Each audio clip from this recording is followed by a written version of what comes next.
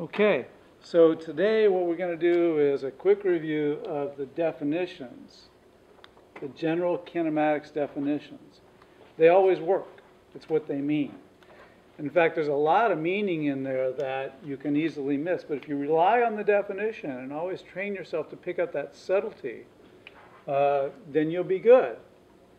These work in general, and we're talking one-dimensional. When we do two-dimensional, then we'll do one direction, say horizontal, and another vertical, or one direction along the plane and another perpendicular to the plane. So we'll add that in. But for now, uh, we'll build on these guys. So as we know, the general one-dimensional kinematics, kinematics means describing the motion. We've got things at an instant that we need to be aware of and be able to write down and draw a picture, and things that happen over an interval of time from now to now. Um, so we can, a good notation for time, we can use the subscript E for earlier. That's kind of my subscript. It works, I think, better than INF. And L for any later time. So we could have T1 could be the earlier and T3 could be the later. Or 2 could be earlier and 3 could be later. Obviously in sequence. So that's an instant. And over an interval of time, of course, we use the delta T earlier to later, any one. So again, 2 to 3, 1 to 3, would be, 1 to 3 would be T3 minus T1. Again, we don't necessarily have to write that, so don't write it. If you don't, if you know what the time is, then it's whatever, 2.3 seconds, fine. Don't write all that.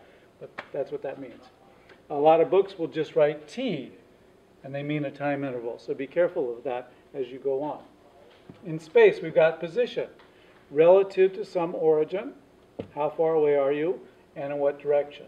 We can use X for position, we can use Y for position, we can use S for position, things like that. But any of those we can subscript again with E, earlier, later, or to get, and this would be general. So I'll write some equations in general, and then you draw your picture and decide, do I want to relate state 1 to state 5, or state 1 to state 2, or state 2 to state 5, and then you can make it specific. So that's what it's all about. Okay? And of course, the change in position is called displacement. Does it matter how I get from one place to another? Well, no. I've got the later minus the earlier. However I got there doesn't matter. My change in position is my change in position. It's where I started and where I ended. Okay, it's independent of the path. But distance does, how much exercise you get does depend on the path. There's not a simple way to write that equation. Again, I mentioned uh, you can write a line integral for that, uh, but we're not doing that now. It's often up for division. But it's how much you traveled, how, many, how much exercise you got. Okay, good. Rate of travel, instantaneous velocity can be written again with subscripts. We want to keep track of the states. So I call them states or moments or events. Earlier, later, so make it specific now. One, two, three, four, however it is. So if you give the velocity at an instant, what you're giving, say state two, you're giving the speed, which is always positive. And the direction, which in one dimension is defined by a plus or a minus. Plus is whichever way you choose, and minus is the other way. Okay, so that said, let's look at time. Is that always positive or can it be negative? It's positive. And position can be positive or negative. And again, whichever way you choose. You can be to one side of the origin or the other. All right, uh, so speed is, uh, speed is positive. It's how fast you're going and directions which way. So to give the velocity, you give both of those things. We can also write this using calculus as a derivative. The velocity at state 2 is defined as, three lines, the derivative of x with respect to time, which is also on a graph the slope, at that time, at that instant. You see the units are, say, meters per second, miles per hour, kilometers per minute, whatever you want. Um, but it's right there, it speaks to. Okay. Now, if we look over an interval, there's a few definitions here. There's, there's average speed, which I chose to do first. I'll show you why.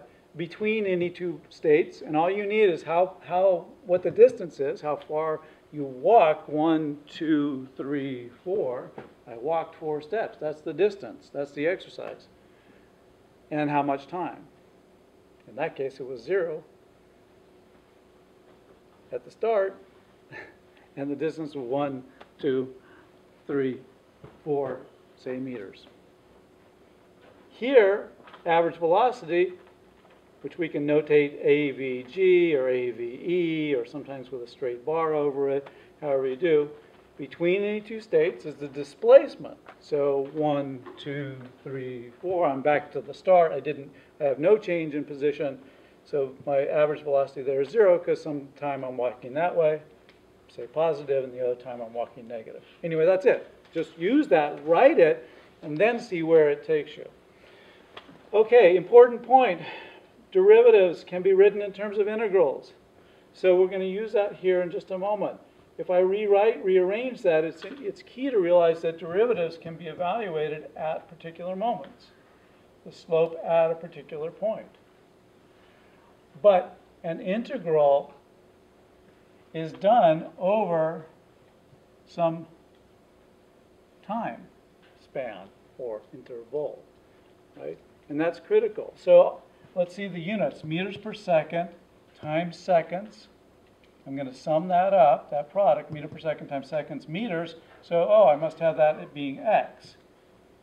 And of course, that's very wrong. Uh, it's really critical throughout physics to think of this as a definite integral, which is a change in position from earlier to later. So the change is critical, and that's another way then for us to go up here and get the change. And we're going to use that in just a moment. All right, so just study that. Now, that's the rate of travel. How fast and in what direction? Okay? You can talk about it in an instant, or you can talk about the average. Also remember that these two numbers are often very, very different.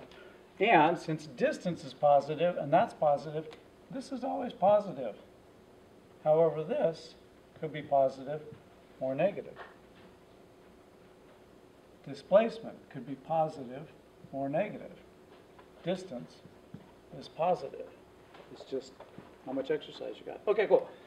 So now, let's talk about the next notion, uh, the next concept, the rate of change of motion, the rate at which you change your speed, or the rate at which you change your direction, or you could be doing both. Um, so that's acceleration. Now, written as a derivative, we've got the acceleration, say at state 3. In order to perform this derivative, we need velocity as a function of time. Take the derivative, evaluate it at that particular time. And that's acceleration. It could be changing, but a lot of problems we'll be doing aren't changing, uh, doesn't have the acceleration changing. Okay, so, checking here, good. Okay, so that's acceleration at any instant. And again, it could be zero at that instant, but it could be changing. It could be non-zero, it could be positive, it could be negative. So this also is a positive or a negative number.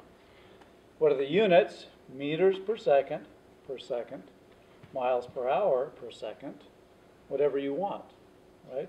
But the velocity units over time units. Uh, and as a reminder, meter per second divided by second is written shorthand as meter per second squared, but the meaning, meter per second per second, makes more sense. Like how much am I, say, let's say miles per hour, miles per hour per second. How many miles per hour am I picking up every second? Or how many miles per hour am I losing every second? That's, but you know, it's easier if you write, since we often use meter per second per second, it's easier to write that as meter per second squared to make sure you can do that algebra. So, uh, either way, think of it this way, write it this way, it's shorter. Okay, cool, and you got that on the other video.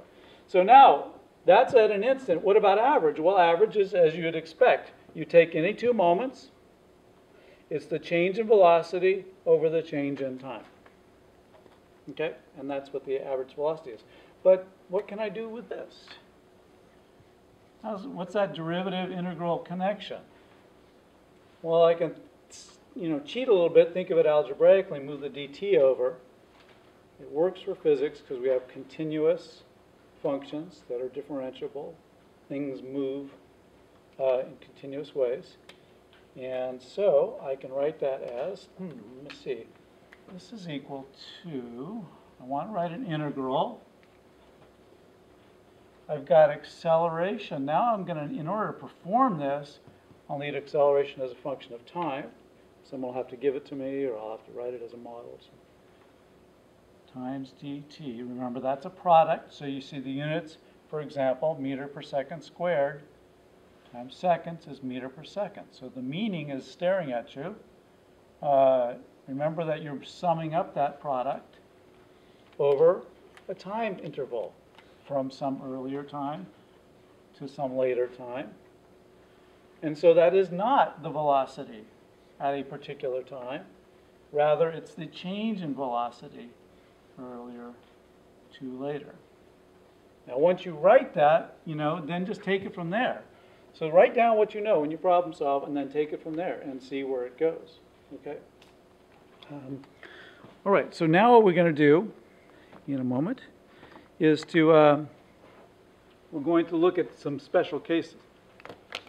Okay. And the special case that we use quite frequently is a case where the acceleration between the earlier and later times stays the same. It's constant. And if it's not changing, then the acceleration at any moment is the same as the average acceleration, and that's good. Uh, and that includes if the acceleration is zero and stays zero. In other words, there's no change in motion. Everybody cool with that? So we can do this actually three ways. I'm not going to do it all three. We can do it using algebra. We can do it graphically. And the way that I'm going to do it here in a moment is to use calculus. And I'm going to use sort of a shorthand quick calculus derivation that here in my class you're going to probably have to reproduce on the first exam with careful notation. Okay? And so we'll do this here uh, in a moment. Before I begin, again, I want to re reinforce the concept of um, acceleration. Okay? And the concept of acceleration, and uh, let's see, Alan actually asked before class, the concept of acceleration is broader than usual. Most people, when they say accelerate, they think increase speed. But in physics, what we find that's fundamental to understanding why things move the way they do is that this concept of acceleration kind of needs to be broadened. It's just the change in motion. Whenever you're changing your motion, you could increase speed, you could decrease speed. Hello, decrease speed.